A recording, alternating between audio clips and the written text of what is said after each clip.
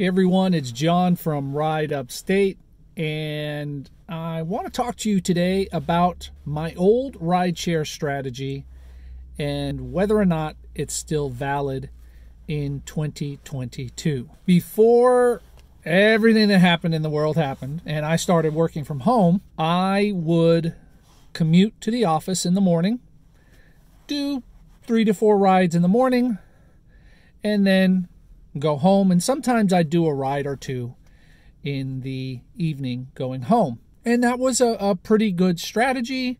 I was doing anywhere between 15 to 20 rides a week uh, on weekdays. And I think it amounted to about 10 to 15 hours of driving, sometimes even less. Since the COOF has been out there. Uh, obviously, I haven't been going into the office. I've had to kind of change my strategy. But today I decided to head into the office and see if my old strategy was still viable. I'm going to throw some stats up here on the screen for you. So be looking for it right there. And uh, some, some screenshots here. We'll throw some stuff up there. So I made $34.95 this morning on three rides. So that's pretty good. You know, that's an average 10 bucks a ride. And I drove for about an hour and 40 minutes, 1.7 hours, for a total of about, I think, 53 to 55 miles.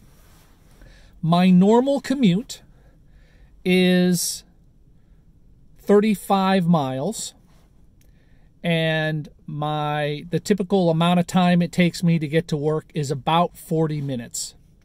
So basically we chop off that 0.7 and get to 1 1 hour of extra time that I drove.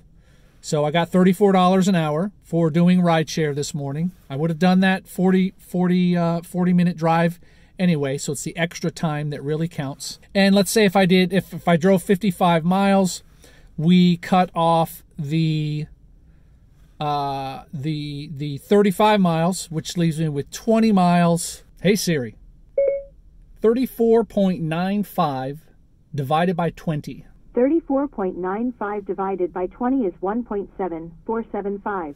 So about a dollar 75 a mile on Uber X. So almost $35 an hour and nearly a dollar 75 a mile on Uber X. I mean, that's not bad numbers, really, if you think about it. It's a Monday morning. The rides that I got, I got fairly quickly. The second ride that I got was 20 miles, a 20 mile trip, headed right in the direction that I needed to go.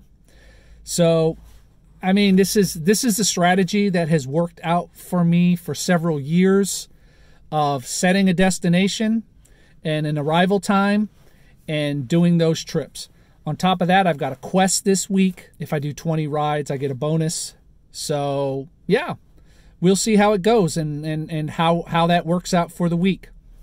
Uh, I'm probably not going to commute into the office every day because that's, I mean, I don't have to. I just wanted to change the scenery and to try this out. So, until next time, my name is John from Ride Upstate reminding you and reminding me to look into the camera, reminding you that just because you're in a small market doesn't mean you need to settle for small profits. Bye.